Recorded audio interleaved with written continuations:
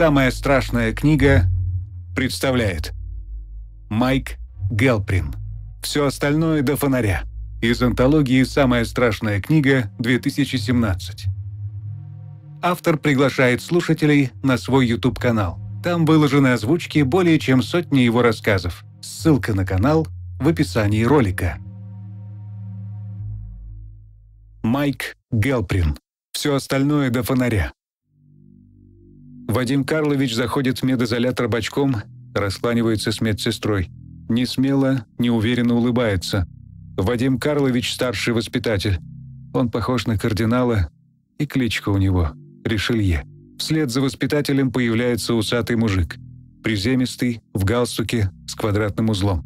Он ни на кого не похож. Портос его впервые видит. «Сюда, пожалуйста!» Голос Ришелье звучный, располагающий. «Вот он, наш Потап. Он, гражданин-следователь, называет себя Портосом. Они взяли себе прозвище, как у мушкетеров. Все четверо. Они... Э, извините». Портос помнит, что значит следователь. Он вообще многое помнит, что бы там ни говорил Ришелье. И другие. «Здравствуй, Потап», — присаживается на табурет следователь. «Доктор сказал, мы можем поговорить. Я задам тебе несколько вопросов. Не возражаешь?» Портос не возражает. Он не возражал, даже когда Людовик велел упечь его сюда, в Бастилию. Людовик — это директор. Мрачный тип с растрепанными сивыми лохмами. Анны Австрийской зовут жирную завучиху. Эти двое частенько запираются в директорском кабинете и делают нового Людовика. Портос сам это видел, когда подглядывал в замочную скважину. Клички в интернате есть почти у всех. Хитрого прижимистого завхоза зовут Мазарини, здоровенного физрука Мардаунтом, вечно нетрезвого трудовика Детревилем, Детрезвилем и Нетрезвилем. Тот откликается на все три. Смазливую библиотекаршу Констанции Бонасье. Для комплекта не хватает разве что Миледи. Арамис предлагал произвести в Миледи шеф-повариху Помпадуру. Рябую, крикливую отравительницу, от стрипни которой то рвота бывает, то понос. Но новая кличка к шефине почему-то не притерлась. Прозвищ нет лишь у самых задрипанных, никчемных пацанов, которых любым именем назови, все без разницы. Да еще у сменного воспитателя, являвшегося в классы, когда кто-то из основных в отпуске или болен. Редкостный зануда с непроизносимым именем и невзрачным, словно помятым лицом, прозвище не заслужил. «Расскажи мне о них», — мягко просит следователь. «О ребятах. Какие они? Что хотят? О чем думают? Мечтают?» Вы ведь делились друг с другом желаниями и мечтами, не так ли?» Портос не отвечает. Он может сказать слова, много разных слов, но следователь не поймет. Никто не понимает. «Хорошо, давай по порядку», — настаивает собеседник. «Арам Макарчан. Что он из себя представляет?» Портос молчит. Он не знает, как ответить на нелепый идиотский вопрос. Почему бы следователю не перечитать трех мушкетеров? Там написано, что представляет собой Арамис. И остальные. Один за всех. С трудом, нехотя выдавливает Портос. И все за одного. Остальное до фонаря. «Ты хочешь сказать, что вы крепко дружили?» Портос ничего не хочет сказать. Он мог бы, конечно, объяснить, что однажды Д'Артаньян поломал ногу и на три месяца угодил в Бастилию. А остальные трое эти месяцы прохромали. Не из упрямства и выпендрежа, как уверяла герцогиня де Шевреш, врачиха-дефектологиня, похожая на облепленный седыми буклями колобок, а от того, что Портос сам не знает от чего. Или взять, например, Атоса, который обварил как-то кипятком руку. Пока ожоги не зажили, писать в тетрадке отказались все четверо. И глупое мальчишеское фанфаронство, на которое напирал Людовик, тут ни при чем.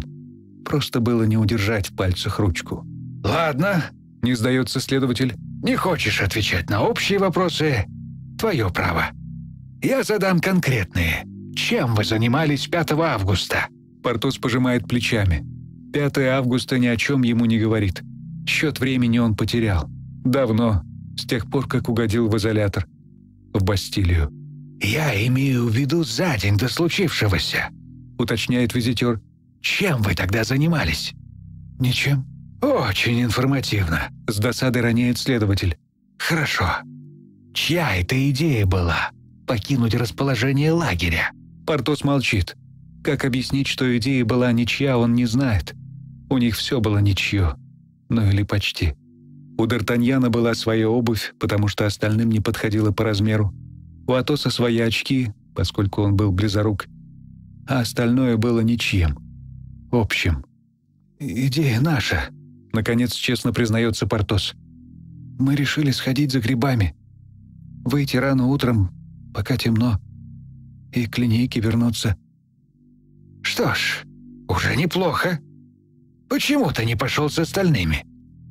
Меня Кальбер наказал. На кухню послал к Помпадуре картошку чистить.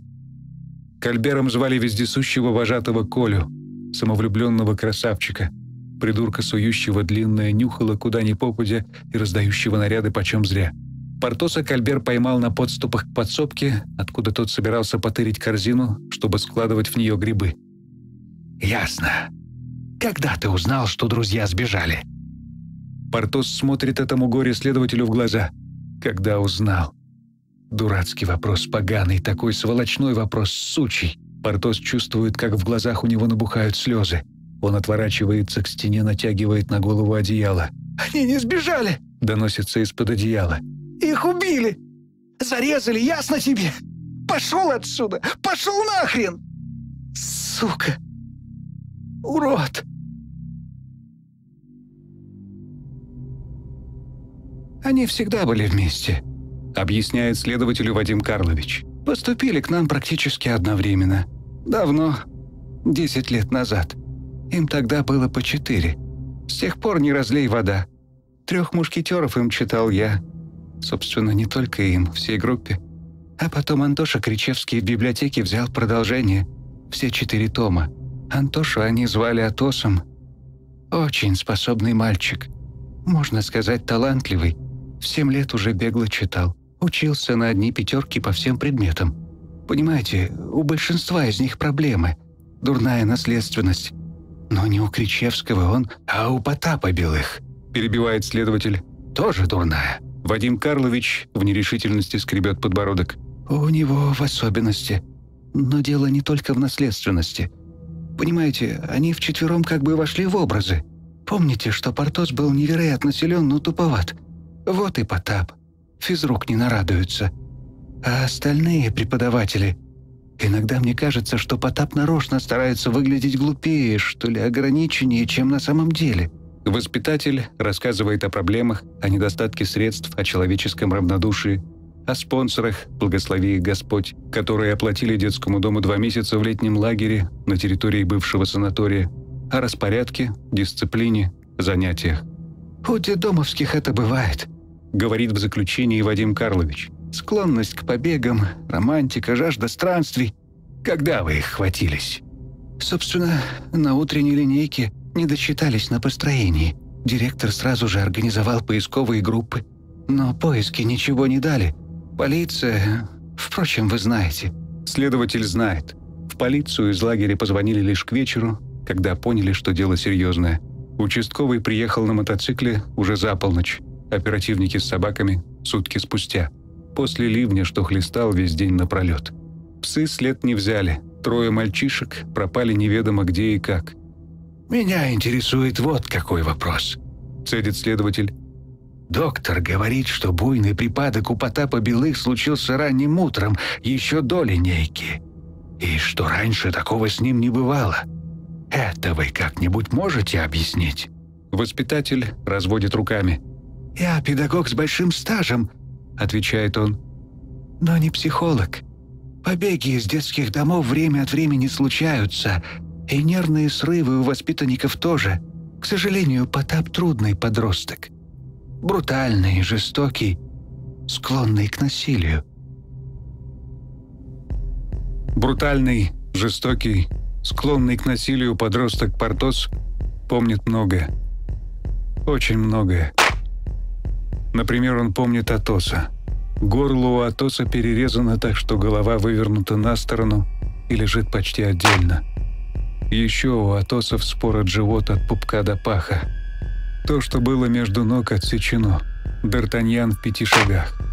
У него раскроен череп так, что виден бледно-розовый пузырчатый мозг. Лицо Д'Артаньяна искажено, перекошено. На нем больше нет носа, а левый глаз вылез из глазницы и уполз из нее на скрученном кровавом жгуте.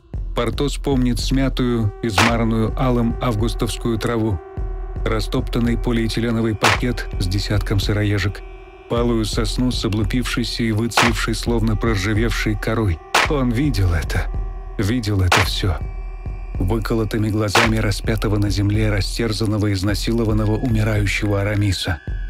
Арамис жил еще добрых четверть часа. Жил даже, когда его уже оттаскивали к сохранившейся с войны снарядной воронке.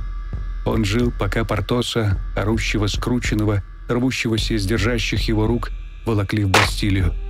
Когда Портоса швырнули на койку, Арамис умер.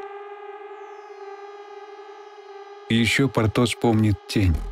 Он не знает, как получилось, что помнит, потому что у Арамиса не было глаз, и увидеть тень тот не мог. Но она была. Портос знает это. Знает точно. Наверняка. Касая метущаяся тень человека с тесаком в руке. И, наконец, Портос помнит слова. Слова тоже пришли от Арамиса, хотя произнести их с отрезанным языком тот не мог. Но слова были. Угасающий, брошенный на дно снарядной воронки, агонизирующий Арамис сумел их передать. И Портос принял. Волга впадает, успел выстонать, вытолкать из себя Арамис. Из города А и города Б навстречу князь Андрей. Больше Арамис не успел ничего. Он умер. Но Портос знает, эти слова — ключ. Ключ от двери, за которой скрывается человек с тесаком. Предсмертные слова Арамиса — завещание. Оно послано ему, Портосу, единственному живому наследнику. Портос знает, что туповат, что не родив в учебе. Быть ему вечным второгодником, если бы не друзья. Портос понятия не имеет, куда впадает Волга. Он не умеет решать арифметические задачки и не помнит, кто такой князь Андрей.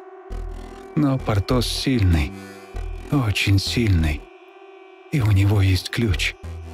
Он найдет человека с тесаком. Найдет, чего бы ему это ни стоило. «Ты урод!» — говорит Портос вслух.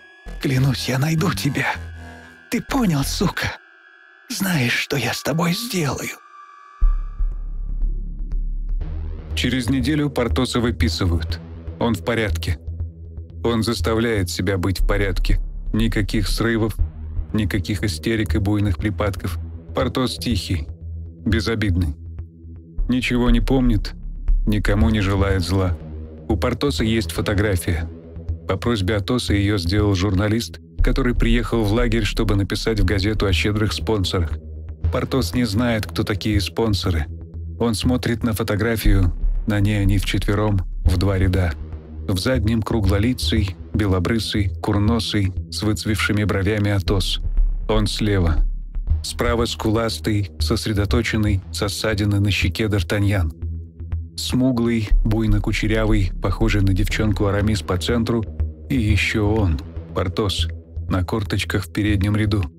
Он выше друзей на голову, иначе бы в кадр не влез. У него скошенный назад низкий лоб, глубоко запавшие глаза, костистое лицо. Портос однажды подслушал, как Дешеврес сказала со следами вырождения.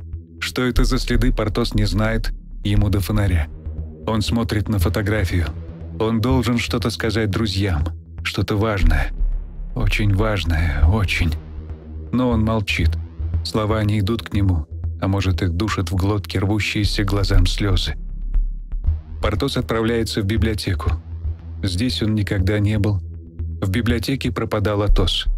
Цапал со стеллажей книжки одну за другой и читал друзьям на ночь вслух. 20 лет спустя и Виконта Доброжелон Атос читал от корки до корки 16 раз. Еще в библиотеке зависал Д'Артаньян, который к книгам был равнодушен, но заглядывался на симпатяшку мамзель. Он просиживал в кресле с прохудившейся обивкой часами под сплетни и смешки за спиной.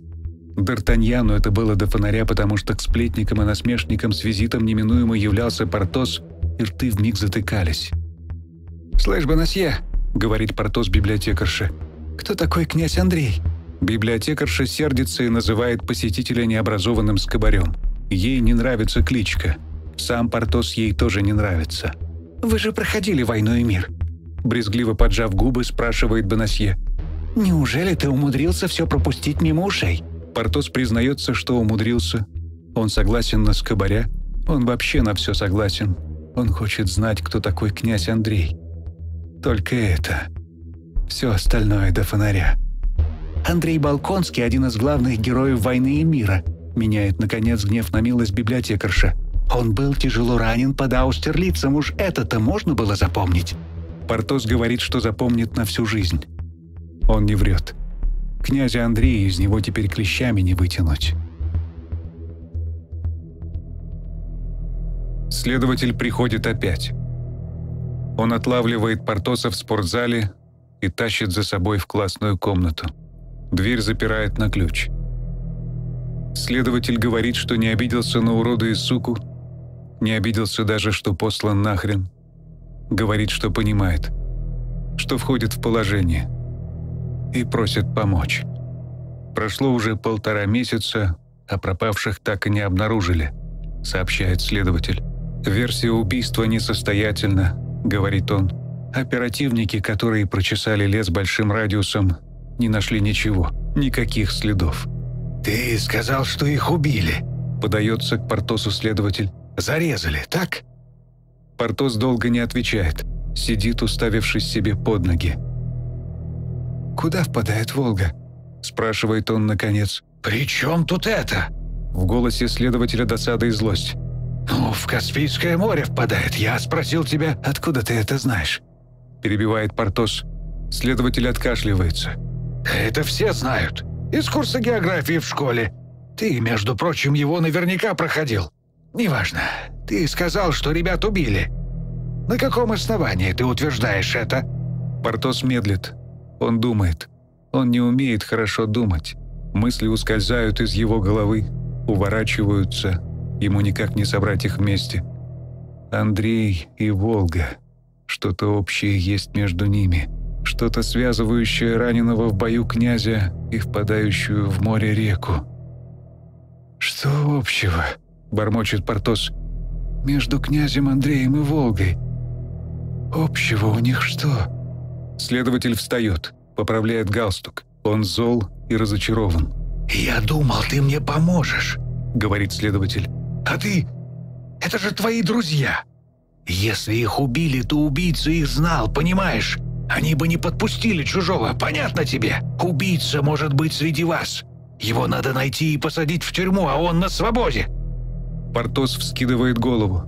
До него только сейчас доходит очень важная вещь. Он не думал о ней раньше. Если следователь найдет убийцу, тот сядет в тюрьму. А значит, до него будет не добраться. «У Арамиса есть родственник», — бурчит Портос. «Какой-то Сурен. Он прислал письмо». Сурен и вправду однажды прислал письмо. А вместе с ним и посылку с десятком яблок и коробкой невкусных конфет.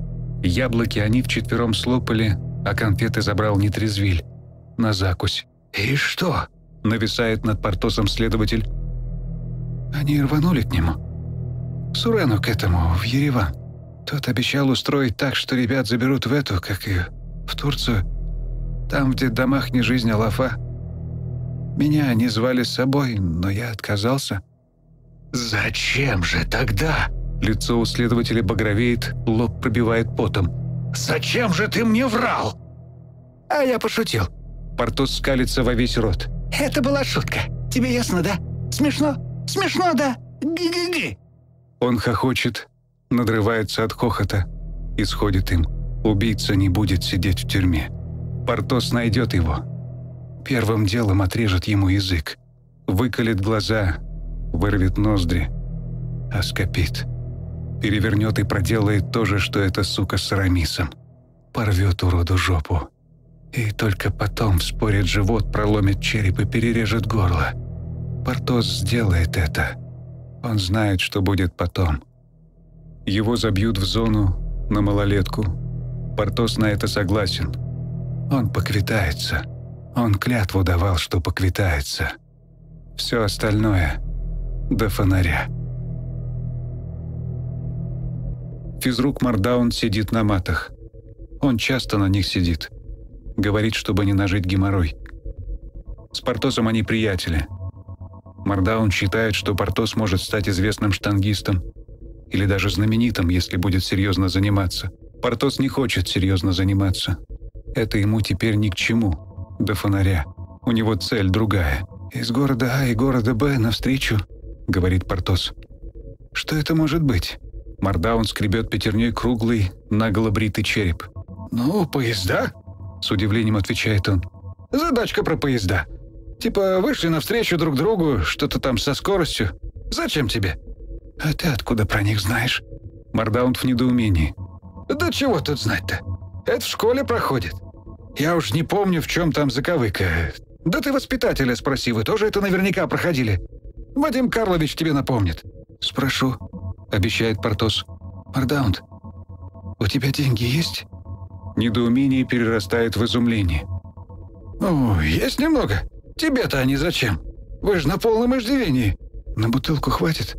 «Да ты чего, парень? Не доставало только я буду покупать тебе выпивку!» Портос медленно качает головой. «Мардаунд», — говорит он, — «мне очень нужно. Позарез. Не для себя, ты поверь. Хочешь, я на суку последнюю забожусь? Хочешь, на колени перед тобой встану?»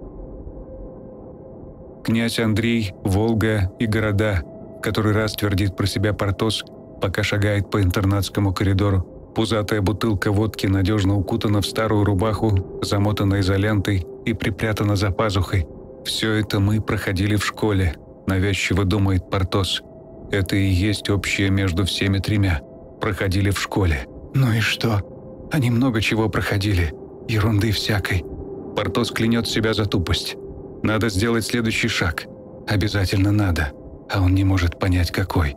Детревиль смахивает с верстака стружку. Он трезв и печален. До зарплаты еще неделя. Портос озирается. В мастерской они одни.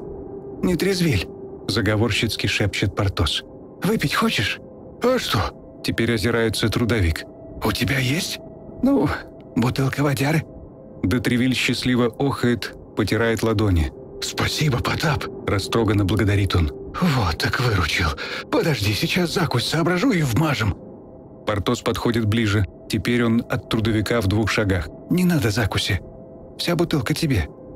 Мне нужен нож. Стальной. Хорошо заточенный». Нетрезвиль на секунду цепенеет, затем отрицательно мотает плешивой башкой. «Нет», — отказывает он. «Ты чего, парень? Натворишь дела, спросят с меня?» «Не спросят». Портос отдирает изоленту, разматывает старую рубаху. «Литровая?» Украдкой предъявляет он обнажившееся горлышко. «Если что скажешь, знать ничего не знаю». Детревиль сглатывает слюну. «Ладно», — соглашается он. «Рукоятку наборную делать?» «Давай наборную». Тощий веснущатый гримо староста группы. Раньше старостой был Атос. Гримо тоже умный, хотя до Атоса, конечно, ему далеко. «Как, как говоришь?» – морщит лоб староста. «Князь Андрей, Волга и города? Чушь какая-то. Не вижу сходства. Откуда ты это взял?» Портос не может сказать откуда. Не имеет права. «Что, вообще ничего похожего?» – уныло переспрашивает он. «Постой». Гримо сосредоточенно думает – что-то вертится в башке, не ухватить никак. Портосу это знакомо. У него тоже вертится и тоже не ухватить. «Ну, ты думай», — подбадривает Портос. «Как следует думай, ты же умный». Он поворачивается к старости спиной и бредет прочь. «Подожди», — догоняет Портоса голос Гримо. «Я, кажется, понял. Ну, конечно, нам это все на раз задали. В один день. Одновременно, понимаешь? Я еще с этими поездами провозился, а тут две главы Толстого читать про князя и заучивать географию по Волжье. В общем, до полуночи просидела, а ты что, совсем не помнишь?» Портос не помнит. Он не просиживал до полуночи, на то у него были друзья. Они не давали его в обиду воспитателям и учителям. А он не давал их в обиду никому. Он защищал их кулаками. В интернате любой знал. С Потапкой Белых лучше не связываться. Покалечит. Портос защищал. И однажды защитить не сумел. Наборная рукоятка намертво зажата в ладони.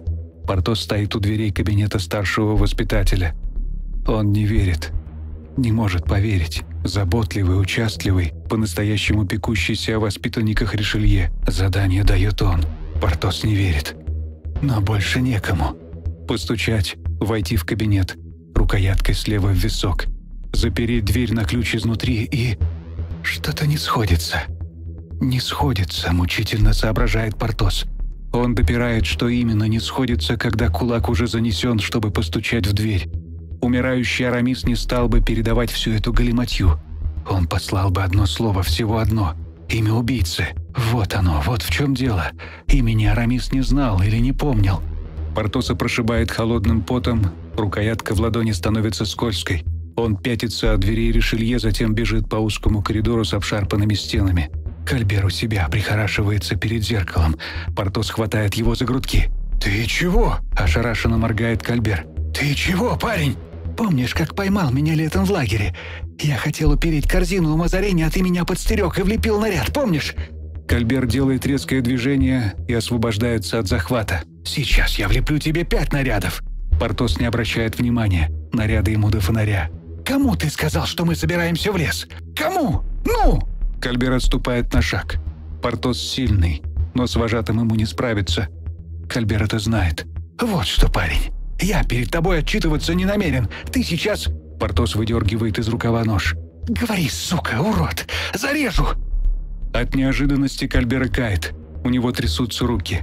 Он неотрывно смотрит на лезвие. «Этому...» Запинаясь, выдавливает Кальбер. «О, успокойся, ты чего? Я ему смену сдал.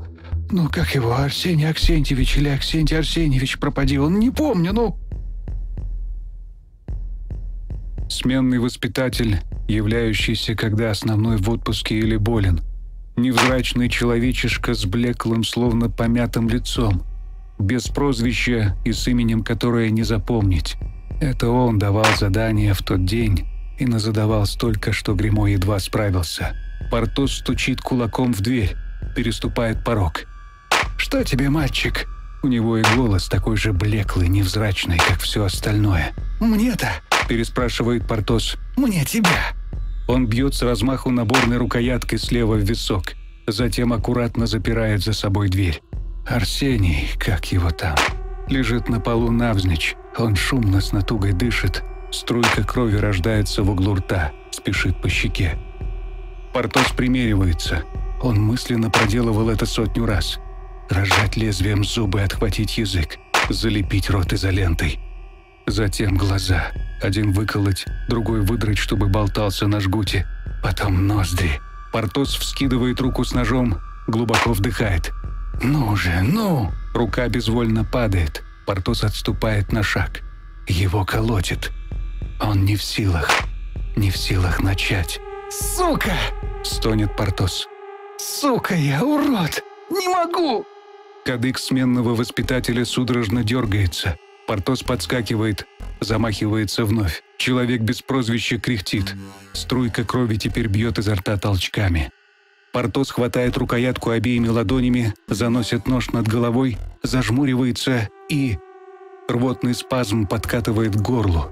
Портос сгибается пополам, падает на колени. Его выворачивает.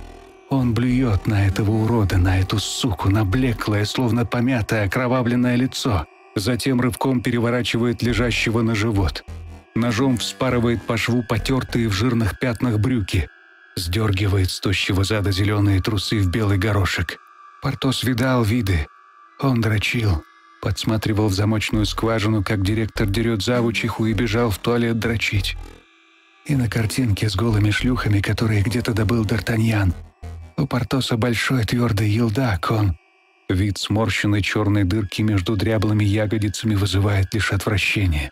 Портосу нечем больше блевать, но он блюет. Еще и еще. Вместе с желудочным соком выблевывает свою никчемность, свое бессилие. Портос поднимается, разжимает ладонь. Нож звенит по полу. Может быть, он и меня тогда убил.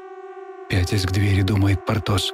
Может быть, я тоже умер, только не заметил, что мертв. Надо зарезать гада, выдрать ему глаза, а я не могу. Портос тщетно пытается повернуть ключ непослушными ходуном ходящими руками. Вышибает дверь ногой и вываливается в коридор. Кто-нибудь!» Надрывается, надсаживается, заходится криком Портос. «Кто-нибудь, помогите!»